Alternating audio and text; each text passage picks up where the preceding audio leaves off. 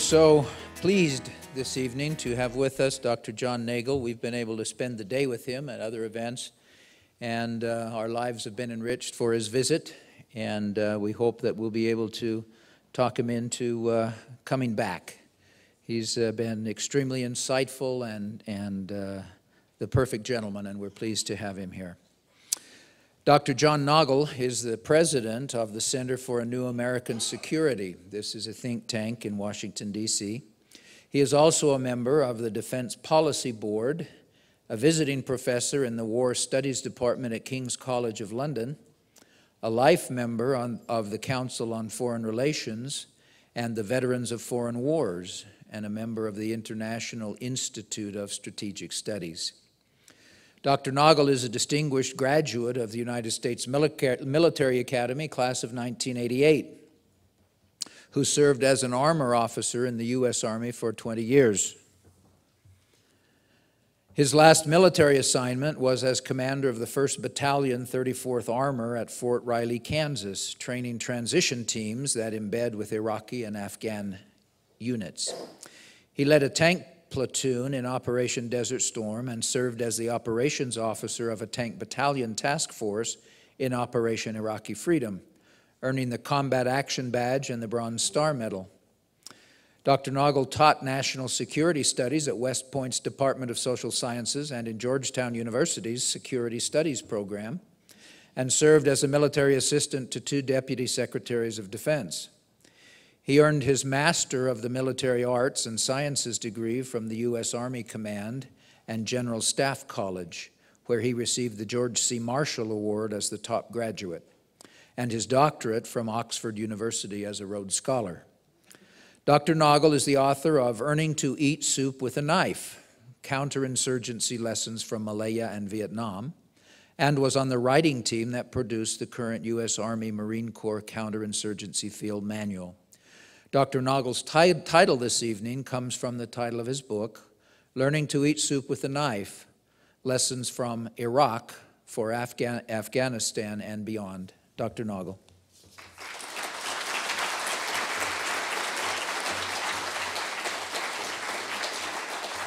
Thanks, Richard, for that kind introduction. Thanks to the Wheatley Institution for having me here today. A, a spectacular day for me at the end of a, a very interesting week. Uh, over the past seven days, I've uh, spoken or chaired panels at the U.S. Naval Academy, at West Point, at the Air Force Academy last night, and now here at BYU. Uh, I'm calling it my Party College Tour 2011.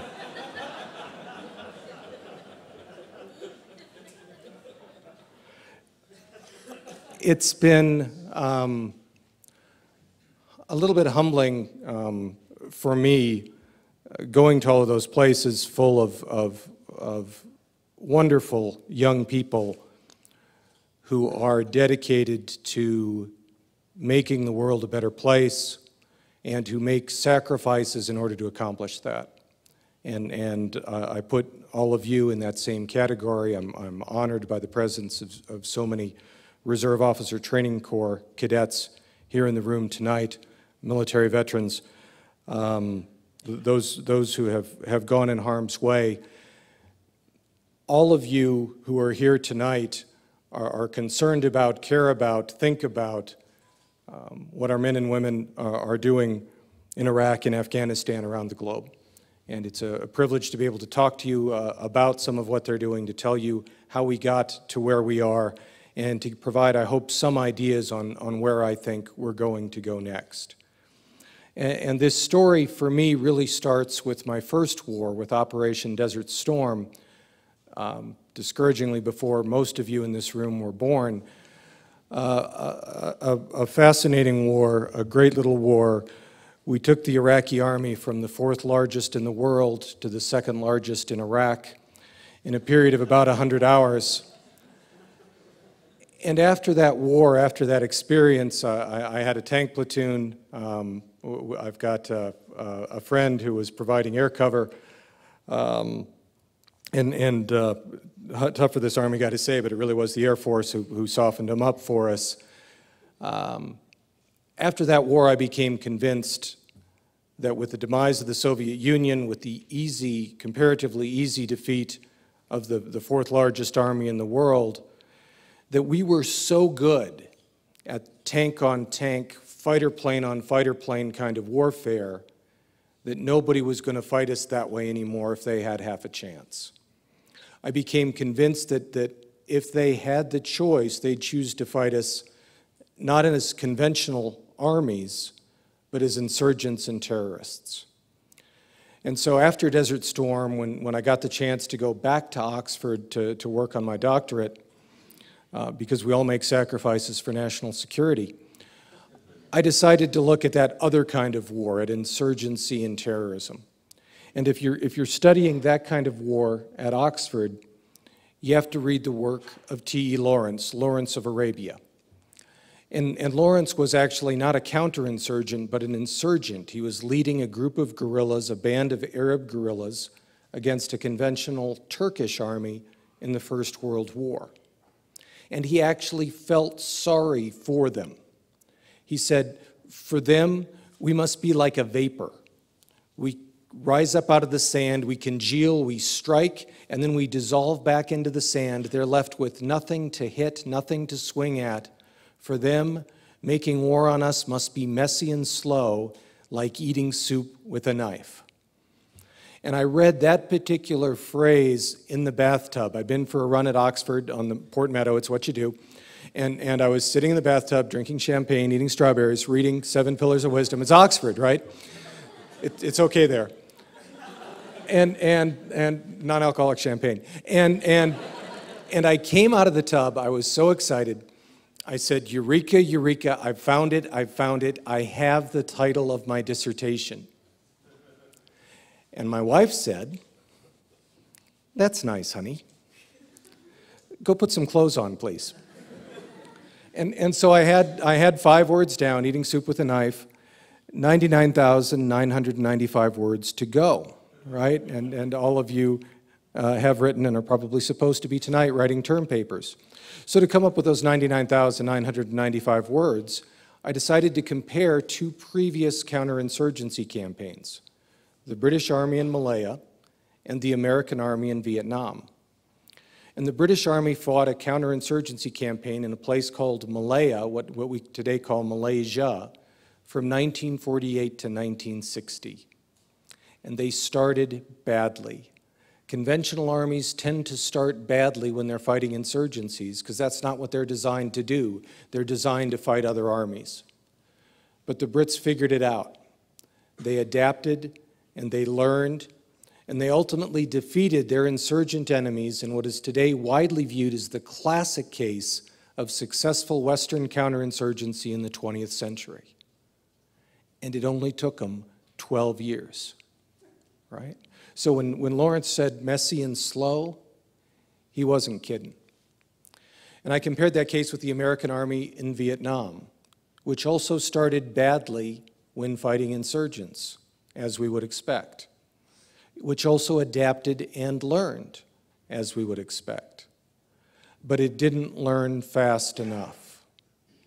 When a great power loses a small war, it does so because it runs out of only one thing. A great power is not going to run out of tanks or fighter planes.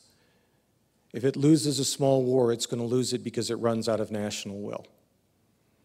And that's what happened in Vietnam, with horrible consequences for the people of South Vietnam, who suffered horribly.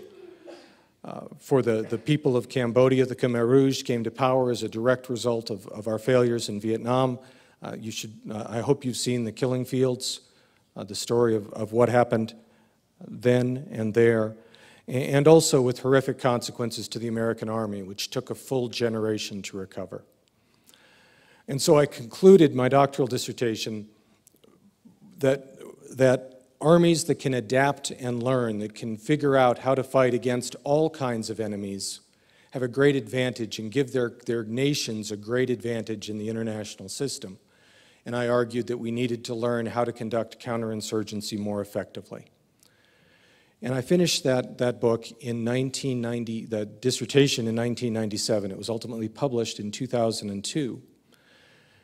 And, and I was told I was crazy for writing on counterinsurgency. because we weren't going to do that kind of thing anymore. And, and I was so crazy that I couldn't find anybody to publish the thing. And, and then I finally got it published. And, and Newt Gingrich, of all people, read it and, and talked about it on Fox News, Fair and Balanced, and said something very carefully. Newt said, Nagl's book is probably the best book that has been written by an American on counterinsurgency in modern times. And I can absolutely guarantee you that that was a true statement because it was the only book. and, and so um, the idea of counterinsurgency uh, again came into the popular discussion. And what I'm going to do um, next is, is talk you through how that idea uh, came to prominence in the war in Iraq and, and what, uh, what is happening now in Afghanistan. The key points I'd like to leave you with. The United States as a, as a country, as a nation, but the U.S. Army in particular, neglected counterinsurgency in the wake of Vietnam. We decided we weren't going to do that kind of thing anymore. Despite that, we adapted and we learned. We figured out how to practice counterinsurgency effectively in Iraq, and we're now applying those same principles in Afghanistan.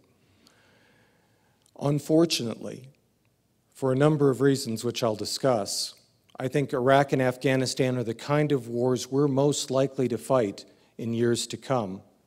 And therefore, I'm going to argue We've got to continue to get better at fighting this kind of war. We've got to figure out how to do this as effectively and as efficiently as we possibly can.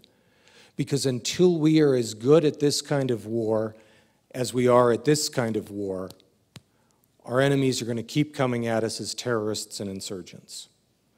And we've come a long way, but we still have a long way to go. We still have a lot of learning to do.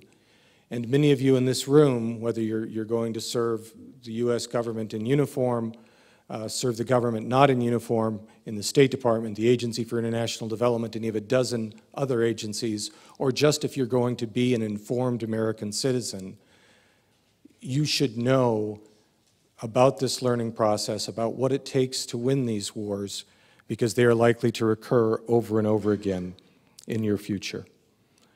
And if, if you understand, if you want to understand the American military, I really think you have to understand Vietnam and what happened in Vietnam. An enormously difficult war for the United States. We actually did figure out how to conduct counterinsurgency uh, relatively uh, late in the game.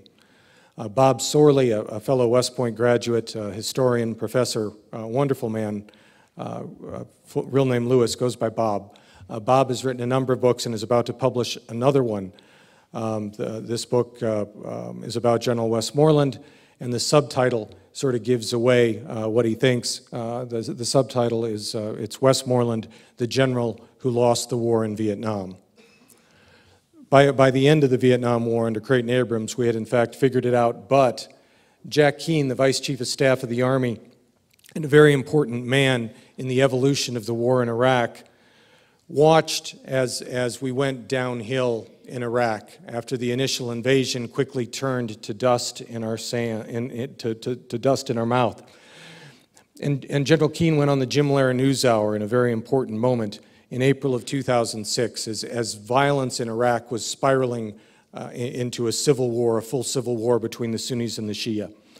And General Keane told Jim Lehrer that the Army on the battlefield in Iraq didn't have any doctrine, it wasn't educated or trained to deal with insurgency because after Vietnam, we purged ourselves of all of that. In hindsight, he said that was a bad decision. And I love Jack Keane for the last three words. He said, We have responsibility. And this was the first time, to my knowledge, that a senior uh, American official took responsibility for what was happening in Iraq as that war was spiraling downhill. And, and General Keane played an important role in the events that will follow. It wasn't just General Keane who thought that the decision to neglect, ignore counterinsurgency after Vietnam was a bad idea.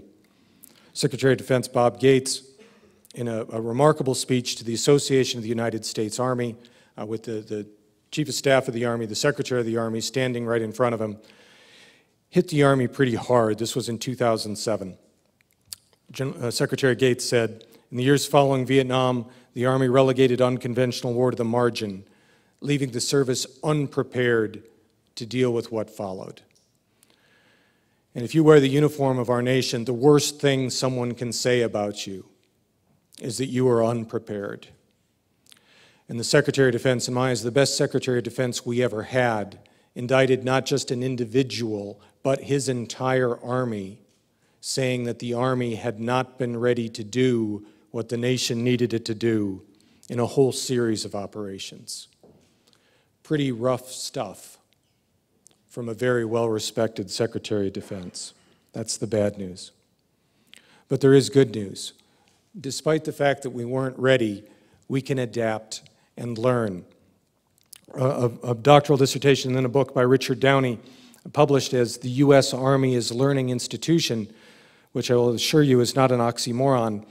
Uh, Richard Downie said, Organizational learning is a process by which an organization uses new knowledge or understanding gained from experience or study to adjust norms, doctrine, and procedures in order to minimize gaps and maximize the chance for success. And one of the best things I get to do in, in this job, running a think tank in Washington, is, is run down to, to Quantico, Virginia, to the, the Marine Officer Corps Basic Course, and give this talk to brand new Marine officers. And in this 10th year of war, I am enormously proud to tell you that Quantico has expanded its Marine Basic Course for officers from 60 to 90. They're straining at the seams. They've got the, the lieutenants stacked in on top of each other. 10 years into this war, if, if for some reason, if you were a poor, misguided soul and you decided you wanted to be a Marine officer, and you went down to the recruiter and told him that, they don't have room for you this year, and they're full for most of 2012. This generation, this greatest generation, this new greatest generation of young people is doing remarkable things, signing up for the military, knowing that they're going to war. But I talk to these Marine lieutenants and I, I show them this slide and I ask them, what's better, guys, experience or study? And in a room full of Marine lieutenants, what do you think they want to do? They want experience, right? God bless them. And I tell them, no, guys, what you want to do is study. Way too many of my friends have gotten killed figuring this stuff out. Crack the books. That always makes me really popular with the Marine lieutenants. This is what uh, this this is a picture. There's only one of one of just two diagrams in the talk, and the, and the, the only important thing in the talk are the two pictures. Um, and, and, and, and what Richard Downie did is he took the organizational learning ideas of a man named John Boyd, in my eyes, one of the best Air Force officers, certainly one of the best pilots of the 20th century.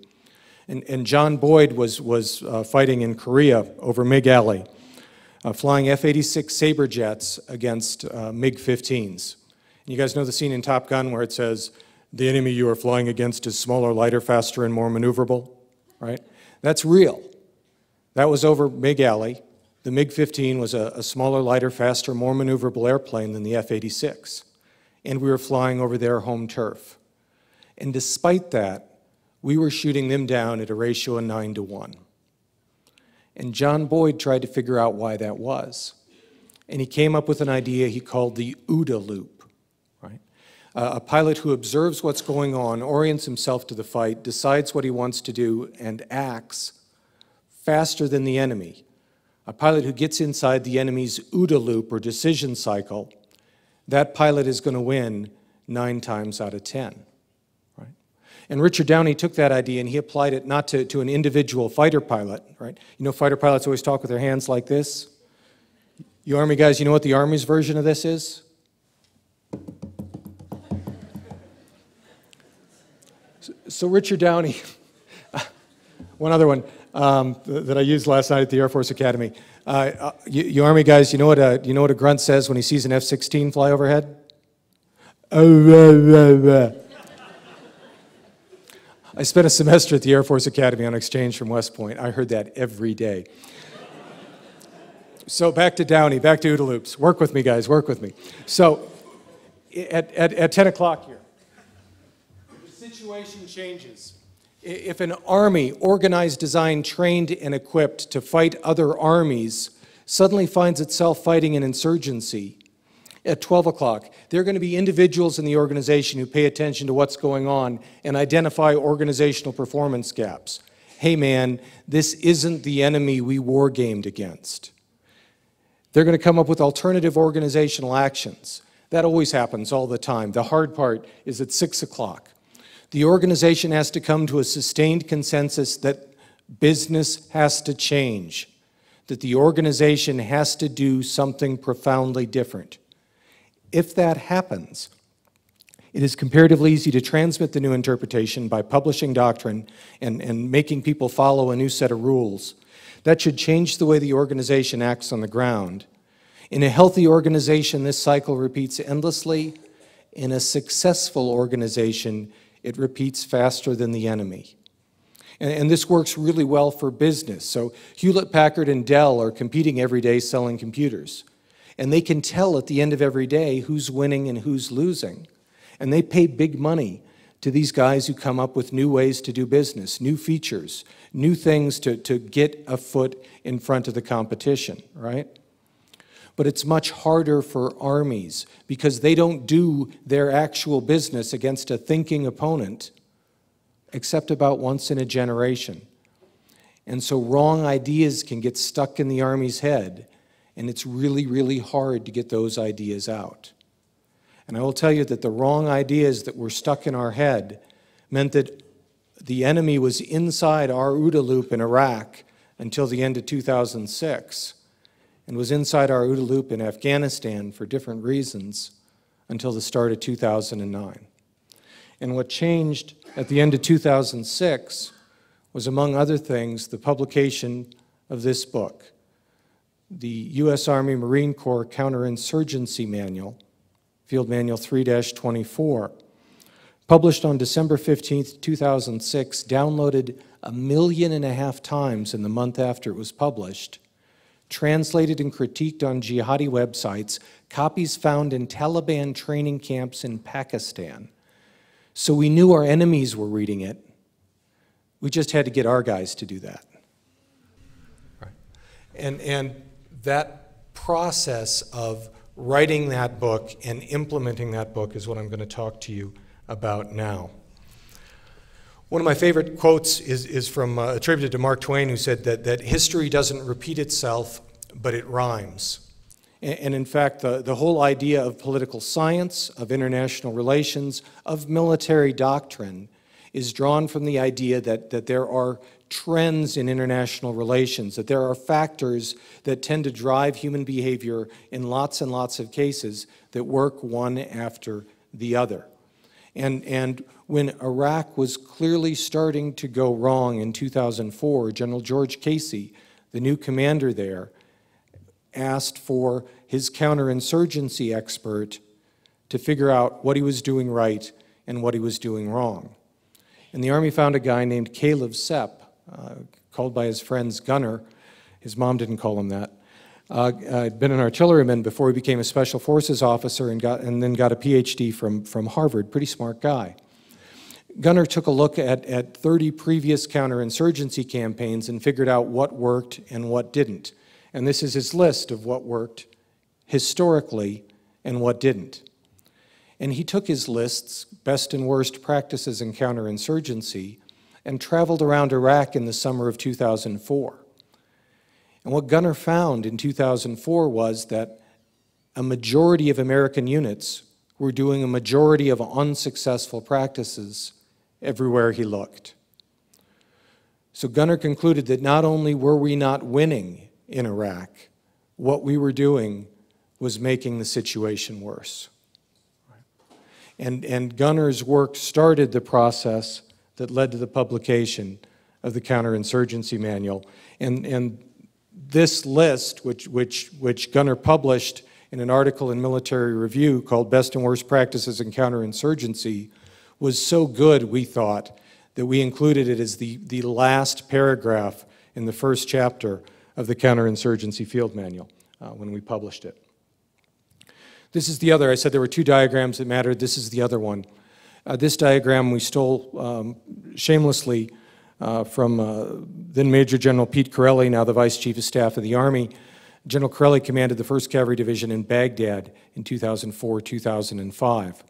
And, and this diagram really explains counterinsurgency in one picture.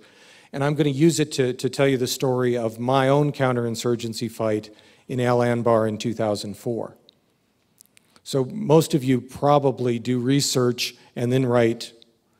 I did the opposite. I wrote a book and then got sent to Al Anbar to research counterinsurgency myself for the first time. And I was sent to Al Anbar, Iraq's Wild West, and had responsibility for a town called Khalidiyah and, and the sector around it. And Khalidiyah, um, nice little town, it's between Ramadi, the capital of Al Anbar, and Fallujah. So it's a pretty nice neighborhood.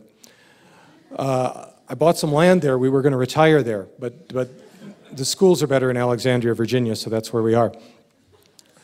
I, I had responsibility for, for about 60,000 souls in my sector. As near as I could tell, about one half of 1% of them, about 300 people, were actively trying to kill me and my guys. Uh, against those 300, I had a tank battalion task force. I had tanks, I had Bradleys, I had artillery, I had mortars, I had attack helicopters and attack aviation on call. Right? In a fair fight like this, it would have taken maybe three minutes. So cleverly, they refused to fight me that way. They were to use Mao's phrase, fish swimming in the sea of the people. The sea of the people who were neutral or passive or who actively supported the insurgency. And I've got to tell you, in Al Anbar in 2004, the number of people who supported the government or coalition, that black box on the far left, that was probably about this high, right? But we couldn't have put that in the book. It, would have been too depressing, and we, we couldn't have fit the words in. So we, we cut ourselves a break, right? And what you're trying to do when you're fighting a counterinsurgency campaign is not kill or capture every one of your enemies. Right? I, I took a lot more than 300 people off the battlefield over the course of my year in my sector. But their brothers, literally, their brothers, decided to fight me in their place, in the place of those who had initially been fighting. Right? So if you're going to win this thing, if you're going to reduce the number of terrorists or insurgents to a level that can be handled by the Iraqi security forces, you've got to change the situation that leads people to fight. So, do you run combat operations against bad guys you can, you, you can find? Absolutely. But you also have to train and employ host nation security forces, build an Iraqi police and an Iraqi army that are going to be able to stand on their own and protect their own people, because we don't want to stay there forever provide essential services to the population, give them good governance and economic development. And, and most importantly, the big gray arrow that encompasses all of the, the, the five black arrows, you've got to conduct effective information operations because ultimately you're trying to change people's minds. You're trying to convince them that they have a better future by backing the coalition and the government than they do by siding with the insurgents. And that can be really, really hard to do. One of the um, first things I tried to do when I got to, to Khalidiyah was work with the, the local police force. I studied counterinsurgency. I knew Gunner's List. I knew that, that, that building local police forces was the key to success in this kind of fight.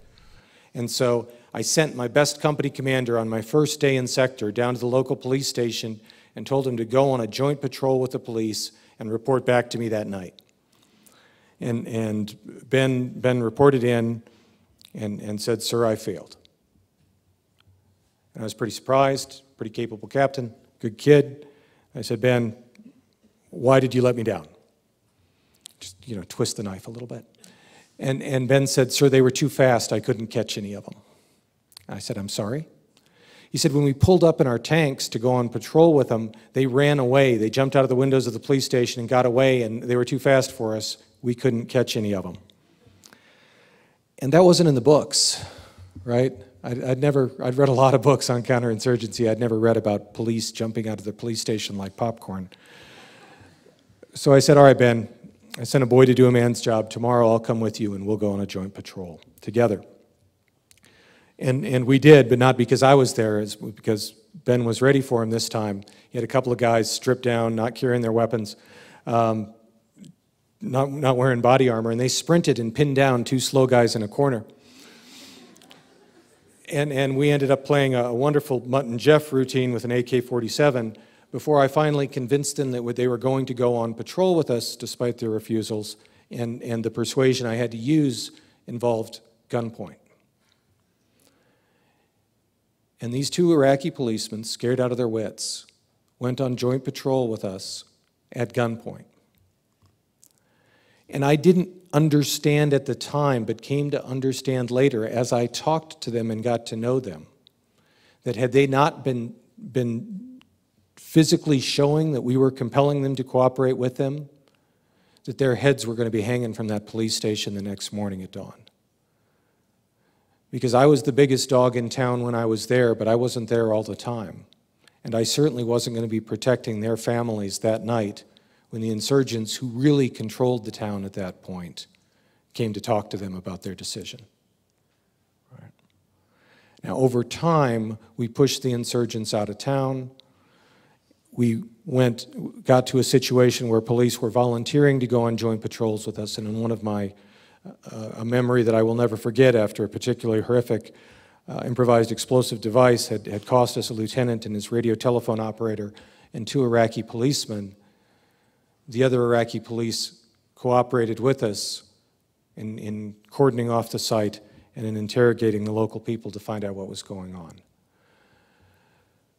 But that is how hard and how messy and how slow this kind of war is. That is how hard it is to build people who will ultimately support the government. We got to that point ultimately, after Iraq had descended to an extraordinarily bad position in the summer of 2006, when the Sunnis and Shia were in full scale civil war with each other.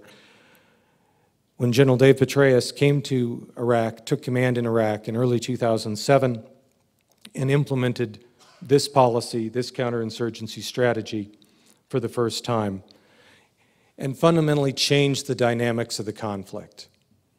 What had been a sectarian war between Sunni and Shia uh, became uh, a situation in which the Sunni and the Shia continued not to, to get along completely well, but decided to compete politically rather than militarily. It was an extraordinary accomplishment. Petraeus was, was both lucky and good. I know he's been here in this great lecture series to, to talk to you. I'm sure he told you the story of, of how that happened, of how the Sunni decided to stop fighting against us and start fighting with us against Al Qaeda in Iraq, our common enemy. It was one of the most extraordinary turnarounds in the history of American arms. And it has allowed us to, to draw down American troops to the point that, that at the height of the surge, we had about 180,000 U.S. troops in Iraq. We're now down to 40,000 and, and on a glide path to go to zero by the end of this year. I personally don't think that zero is a good number. I think that Iraq remains unstable. I think that there are good reasons uh, why the Iraqis want us to stay, uh, the biggest one being Iran. Uh, Iraq currently has no jet aircraft uh, to defend its own airspace. It is going to continue to rely on the United States to defend its airspace for a number of years to come. It is buying the best tank in the world, the M1A1 tank. It's going to need help operating and maintaining those guys for a number of years to come. And so I, I ultimately expect that well past the last possible minute, the Iraqis will ask us to leave several thousand U.S. advisors on the ground uh, past this December 31st, and the administration has already said that it is willing to do that. This has been um, an extraordinary series of events in the history of the American military. This story is not yet over by any means, but it is a great story of learning and adaptation. And I'd like to, to think a little bit now about uh, another case um, where we also, I think, adapted very much in the nick of time. The decision to invade Iraq in 2003, before we had stabilized Afghanistan, um, put the lie to, to one of my, my, my favorite quotes from St. Augustine, who said that the only purpose of a war is to build a better peace. And we had no choice but to fight the war to topple the Taliban in 2001 after they refused to turn over Al Qaeda to us, after they decided to agree to give sanctuary to Al Qaeda. We had no choice, in my eyes, in the eyes of the world, except to topple the Taliban and, and go after Al Qaeda inside Afghanistan. But we had not completed the job. We had toppled the Taliban, but we had not built a better peace in the Afghanistan, in the post Taliban Afghanistan, before we turned our attention to Iraq. And, and Iraq grew so big and so bad and was so vital so quickly that, quite frankly, we took our eye off the ball in Afghanistan. And we weren't able to refocus on Afghanistan until after General Petraeus had worked his trick, had implemented counterinsurgency, and had brought that war to, to a reasonable level of violence by the end of 2008. And so, over the course of 2009, President Obama twice decided to dramatically increase the number of U.S. troops in Afghanistan, first doubling them with a decision in March of 2009 from 30,000 to 60,000 and then deciding to add another 30,000 on December 1st, 2009, in a speech he delivered at West Point. Those troops meant that for the first time, we started to have what we had always needed in Afghanistan to provide security and stability to that country. They did not guarantee success by any means, largely because of the, the single biggest problem we face in Afghanistan, which is not Afghan government corruption, bad as that is, but is Afghanistan's neighbor, Pakistan. Historically, one of the things that makes an insurgency hardest to defeat is the presence of a sanctuary next door where the insurgents can, can resupply and, and can stage attacks into the territory in which the counterinsurgency campaign is being fought. And this is very much what Pakistan was as the Taliban rebuilt from 2002 until 2005 when they started reinfiltrating, and very much what Pakistan remains today. And uh, Secretary of Defense Panetta, the Chairman of the Joint Chiefs of Staff, Admiral Mike Mullen, testified today. And Admiral Mullen who has worked harder than anybody in the U.S. government over the past several years to build good relations with Pakistan, said very directly that the Pakistani intelligence service, the ISI, the Inter Service Intelligence uh, Agency, directly supported the insurgents who attacked the U.S. Embassy compound last week. Pakistan has been playing a double game working with us in some cases, but maintaining an insurance policy of a number of insurgent groups, most notably the Haqqani Network, or HQN, which it supports in, in order to have influence in Afghanistan after we leave. Admiral Mullen's statement was shocking. It's front page news uh, right now in both the Post and the Times. And it indicates frustration that is starting to boil over here in this country with Pakistan. Uh, that frustration uh, increased dramatically uh, when we discovered that Osama bin Laden was living in Abbottabad, uh, next door, a mile uh, from the Afghan military academy, the Afghan West Point. Uh, it has further increased with um, more intelligence telling us that, that the Pakistani government is directly supporting insurgents. That problem of Pakistani support for the insurgency inside Afghanistan is the biggest problem we face in that war. Pakistan, in general, according to Admiral Mullen, the most dangerous place in the world for the United States of America because it is a fragile democracy that harbors a number of insurgent groups, well over 100 nuclear weapons, and it's rapidly building more. Pakistan is the reason why Afghanistan matters so much to us. There is a little good news. Uh, we started taking the, the effort to build an Afghan army seriously in 2009. We put our best man uh, against it. We started to make progress in Iraq, building an Iraqi army when we put Petraeus, then Lieutenant General Petraeus, against that problem in 2004. We put our best man, Lieutenant General Bill Caldwell, against the problem in Afghanistan, unfortunately, in 2009. And, and um, we, we don't yet have the Afghan forces to hold the territory where we clear the insurgents out of. David Galula, the, the great French theorist of counterinsurgency, author of the, the best book still on counterinsurgency, written in the early 1960s, uh, David Galula's Counterinsurgency Warfare Theory and Practice. Galula said that counterinsurgency is only 20% military, it's 80% political, economic, information operations.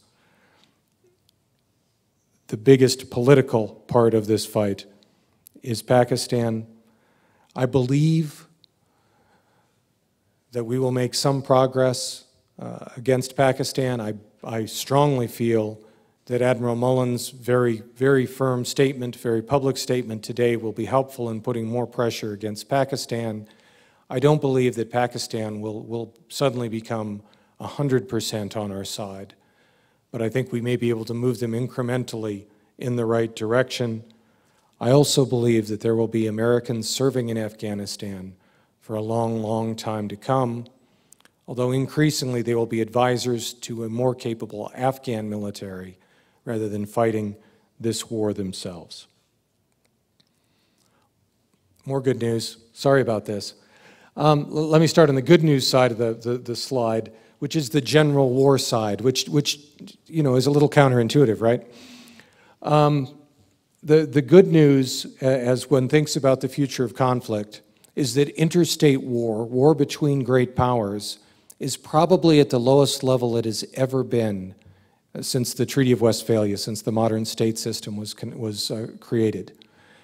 And that's for, for two reasons, um, at least two reasons. I, I, I will posit two reasons. Uh, first is the presence of nuclear weapons, which, which make it less likely that states who have nuclear weapons will go to war with each other. Um, the, the, the, the fact that uh, um, we waged war, we, we, we declared a, um, an axis of evil, uh, North Korea, Iran, and, and Iraq, and North Korea has an invasion insurance. It has nuclear weapons. It is confident that it will not be invaded. Uh, that's one of the reasons why Iran is trying to uh, acquire nuclear weapons so hard.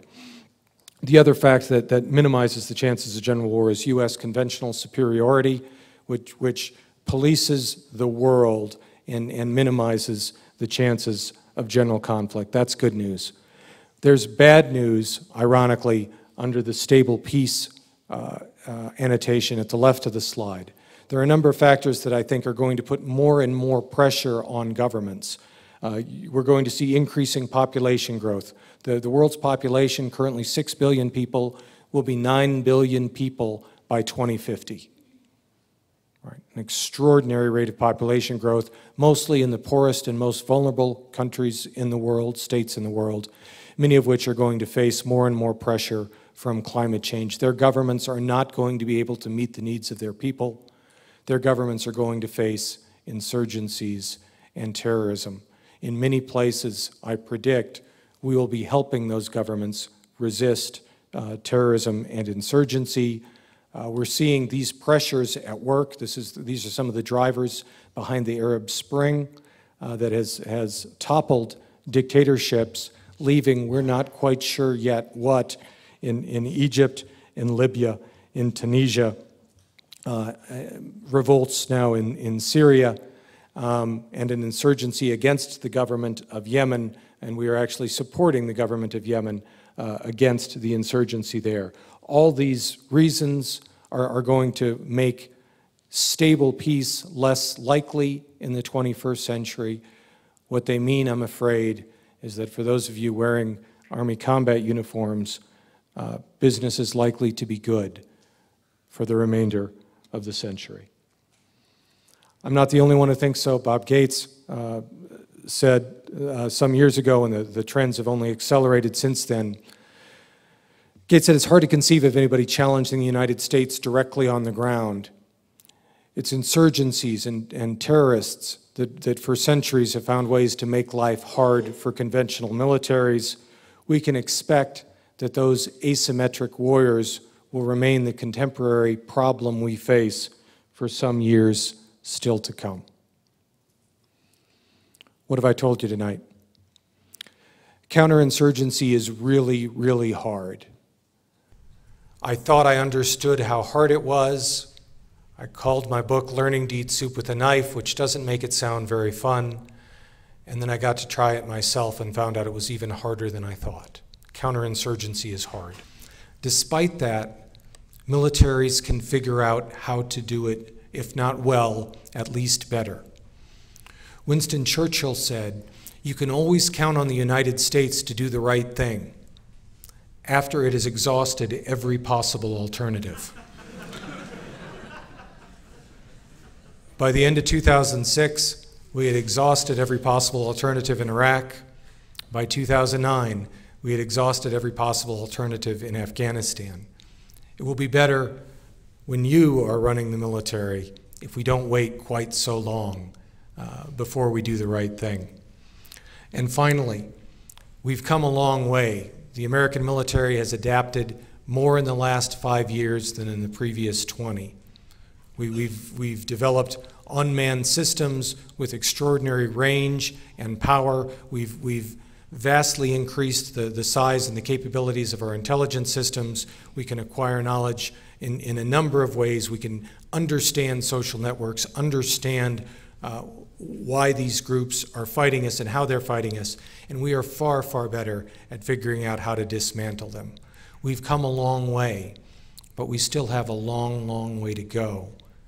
And it's going to be your generation's task to, to, to take this the rest of the way. Last month, a, a guy named Joe Klein, who writes for Time magazine, wrote a story about what he called the new greatest generation of veterans from our current wars coming back and reshaping America. And in that story, Joe pointed out that what we call the greatest generation, rightly, the generation that, that struggled through the Depression and then saved the world from fascism and tyranny during the Second World War. Great as that generation was, an awful lot of them were drafted. This time, the new greatest generation, has volunteered to fight. An all volunteer force has stayed fighting and is stronger now than it was at the start of this war 10 years ago because of the caliber of your generation of young people. And, and as uh, somebody from an old generation, a generation that's now moving past, let me say how much I admire and appreciate that and how much I look forward to your questions. Uh, I would like to know what you think about how um, anti Western rhetoric plays a role in recruiting forces for Al Qaeda and other insurgents, and how counterinsurgency uh, warfare and efforts um, plan to mitigate or uh, work with that sort of anti Western rhetoric. Mm-hmm. This is very much a global war of ideas we're fighting. We are not nearly as good at the war of ideas as we ought to be.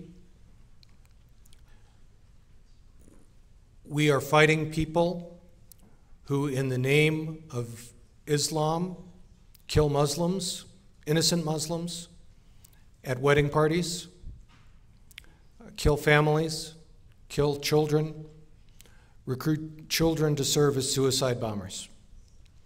We do a horrible job of, of telling that story to our own people and, and to the people who believe in Islam, who practice Islam around the globe. And we have to do a better job of that. We are doing a better job on the, on, of, of taking on recruiting on the internet, which is one of the places where they, they find their recruits. We are doing some very interesting things that I can't talk about in this forum, but, but this is an area where we are going to continue to need new thinking, good thinking, and, and bright talent. And if you're interested in this field, I'd urge you to, to help us think about how to do this better and to help us then implement those ideas more effectively. What exactly is, I was just wondering if you could give us a little more on what Pakistan's motive is for harboring terrorists. So the, the, the history goes back to our efforts to punish the Soviet Union when it invaded Afghanistan in the 1980s. Pakistan uh, was how we funneled aid and assistance to the Afghan Mujahideen. And those supply links and some of those groups ended up in Pakistan uh, after the war with Afghanistan. This story is well told in, in Charlie Wilson's War, uh, a, a, great book and also a very good movie that I encourage all of you to watch. Uh, some practices in the movie may not be in accordance with, with uh, those of Brigham Young University. Um, Charlie Wilson was a, a, congressman from Texas and a Democrat. You got to expect some of those things. Um,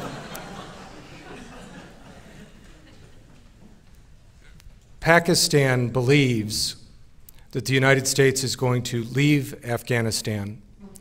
And when it does, it desperately wants to make sure that its arch enemy, India, does not gain control in Afghanistan. And so it, it is using these insurgent groups as an insurance policy to attack the government of Afghanistan, to make sure that the government of Afghanistan, which it believes is, is close to India, um, does not form an alliance. If, if it does, Pakistan is, is then uh, in a world of hurt, is surrounded, is, is, is the meat in the sandwich of Afghanistan and India. To defeat that thinking by Pakistan, there are a number of things we can do. We can help reduce tensions between India and Pakistan, something we're trying to do, but there's a lot of work still to be done here. It's, it's, it's another area I'd encourage uh, people who need term paper topics to take a look at. It's a real world problem that we're struggling with. But also, we have to convince Pakistan that we are in this for the long haul, that we are not going to abandon Afghanistan, that, that we will be the honest brokers in this region. And we have not been able to convince the Pakistanis of that because we keep talking about how much we want to leave. And, and perversely, just as in Iraq, when, when, when we said we wanted to leave, everyone acted as if we were leaving and, and, and made their own side deals. It was only when we said that we wanted to stay in Iraq, that we were going to stay as long as it was necessary, that we were able to, to change the situation on the ground. The same is true in Afghanistan. You've spoken a lot today in general terms about what needs to be done in a counterinsurgency, um, principles and things which should be done in Afghanistan and with Pakistan. But in your opinion, what are what specifically are the steps that we should be taking in order to go and turn the tide of the conflict? Um, it's a good question. I've done a bunch of writing on this. I'll, I, I will um, tell you that we've done a lot of the things that I've I, I got to, to um, testify before the Senate Foreign Relations Committee on this, which is pretty cool. Um, uh, and a lot of the ideas have been adopted. So, so building Afghan security forces is absolutely essential. Um, improving Afghan governance is important. Um, ironically, probably the single thing that would make the biggest difference at this point is lifting the tariffs that we currently uh, put in, in the United States on Pakistani textiles. So Pakistan believes very strongly that all we're doing, um, that all we, the only thing we care about is Pakistan and Afghanistan as part of the, the, the so-called war on terror.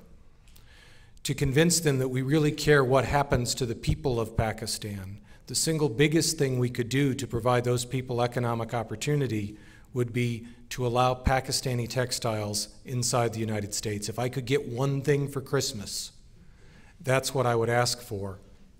Uh, I will tell you that, that um, it is extremely unlikely to happen uh, because of the U.S. Congress and uh, competing domestic interests in the United States, which is, uh, I think, um, a, a, a short sighted political decision, but is uh, nonetheless likely to make me unhappy at Christmas. Uh, sir, thank you for being with us tonight. Um, my, uh, I have kind of two questions that are connected. Um, first is, um, as uh, the military is gearing up to decrease its budgets, um, to cut its force structure, um, how, what do you see as the implications in terms of balancing the needs of uh, both a conventional and an unconventional um, strategy? additionally, how do you see our engagement with China as an emerging regional superpower, um, while specifically um, building weapons and doctrines to uh, target our ability to um, project power in the region. So those are the two biggest questions my think tank is struggling with right now. And if uh, you know, if you're free for the next seven or eight months, we'd love to. to uh, we've got a cubicle for you. Um, Great question. Really, seriously, great questions. The, the, and, and, and two of the biggest questions that the Pentagon, um, the, the Senate Armed Services Committee, all, all, the folks who care about these things in Washington are struggling with. We we are currently going through a big um, budget cutting exercise in the Pentagon. We're cutting 400 billion over the next 10 years, um, 40 billion a year.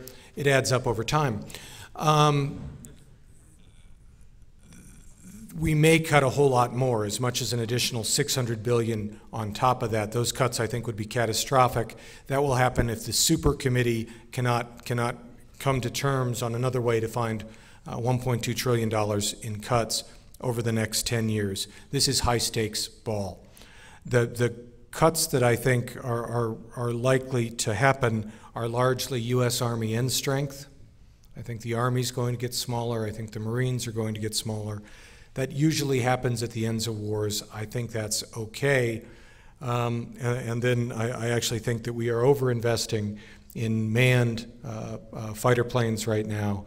And I think that, that uh, particularly given the capabilities that China has, what's called anti-access area denial capabilities, um, our, our, the, the planes we're buying aren't going to be able to get close enough to influence actions should, should, um, should China uh, decide to, to engage us in war. There are lots of reasons why that shouldn't happen.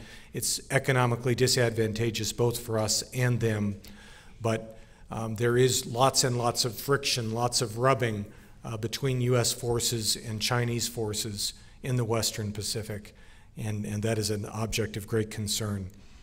The new thinking on, on that conflict is a, a doctrine called air sea battle uh, developed by, by one of my friendly competitors, another think tank called the Center for Strategic and Budgetary Assessments, CSBA. It's all about acronyms in Washington.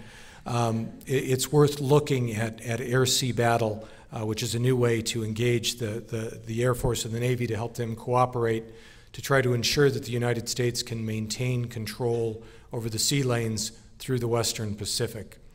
The world center of gravity over the past decade or two has shifted from the Atlantic Ocean to the Pacific Ocean. That trend is likely to continue. Um, there is every reason why the rise of China should be a peaceful one, inshallah. We have to be ready if it's not. And is, is the last question from Superman? Um, first of all, thanks a lot for coming tonight. And I've actually got a twofold question. Um, first of all, in your experience in Al Anbar, um, you mentioned the police force and security forces being very threatened by the insurgents. How much complicity was there on the police part, like beyond simply being intimidated? How much complicity? And how much of the violence do you think was uh, just criminality taking advantage of the chaotic system? Great question. Um, it, it, lets me end with a, with a, a, a pretty tough war story. Um, when I arrived in, in Khalidiyah in September of 2003, we were on our, we, we got a brand new police chief. The, the previous one had just been killed uh, fairly brutally. He was the second police chief to be killed in the six months uh, since, uh, uh since the invasion. so when, when, when, when um, job tenure is, is measured in months and, and your, your two predecessors have been killed, um, times are tough, right? It turned out that the, the guy we got uh, was a, a, a retired uh, brigadier general in the Iraqi army. Uh, we, he and I had a lot in common. We'd both fought in Desert Storm, just on opposite sides. Uh, made for made for good discussions. Um, he was, uh, uh, as I mentioned, that we started to cooperate with the police. They started to cooperate with us. Al Qaeda in Iraq uh, was not very amused by this. They launched a, a truck bomb against the police station uh, the, the, the um, Saturday or Sunday in December 2003 when we captured Saddam Hussein. Uh, for me, that will, will always be the day of the car bomb on the police station. It killed 35 policemen, uh, a number of, of children um, who were, were visiting their, their dads at the police station. Um, he survived that attack. My police chief survived that attack, uh, continued to cooperate with us. Um, he, he, several months later, faced an improvised explosive device in his own driveway uh, that wounded him not severely, uh, but did send something of a message. Right? Imagine if you're the police chief uh, and you don't even control your own driveway. Your forces don't even control your driveway. Um, this was uh, just a, a, few weeks before uh, the, the first Battle of Fallujah. You'll remember uh, four Blackwater contractors took a wrong turn uh, and ended up being brutally murdered uh, by the people of Fallujah. Uh, two of their bodies hung from a bridge. that bridge, Fallujah, was the, the next city immediately to my east. And we attacked into the city uh, accomplishing something fairly extraordinary. It was the first time the Sunnis and Shia had ever agreed on anything. Uh, they, they agreed that they really suddenly didn't like us. And um, I received multiple credible reports that my police chief was providing body armor, weapons, radios to the insurgents inside Fallujah who were fighting my guys. Right? Stuff that I had provided him he was giving to the insurgents who were fighting against us. And this is another one that's not in the books. I checked. Right? Nobody, there, there was nothing that told me what to do. I ended up doing nothing. I decided that that was the minimum tax he could pay to stay alive and remain my police chief, given the situation on the ground throughout Iraq. I and, and we never spoke of it. And after the Battle of Fallujah stopped, he continued to cooperate with me, he continued to give me information on insurgents inside Khalidiyah. I still don't know if what I did was the right thing or not. I do know that if I had arrested him, that I didn't have anybody better to replace him with. And that I thought it was a price worth paying, knowing, knowing that those weapons were being used against some of my friends. Good friend of mine, uh, not in the first Battle of Fallujah, but in the second, uh, ended up uh, um, being severely wounded by a rocket propelled grenade. Um, although it couldn't have been one of mine, it couldn't have been one that I had given my police chief and it ended up with him. I often, when I am with my friend, think about that decision I made and wonder if I got it right. And, and these are the kind of decisions that we are, are going to be asking you to make. Um, th those of you in uniform, those of you who, who grow up and, and achieve positions of responsibility, political responsibility in this nation,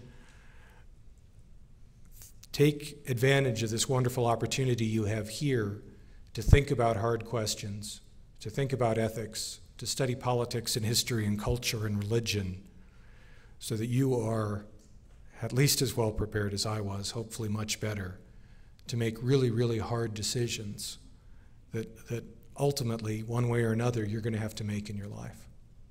Thanks for, for taking the time to, to listen tonight. Thanks for your commitment to making the world a better place. Thank you all.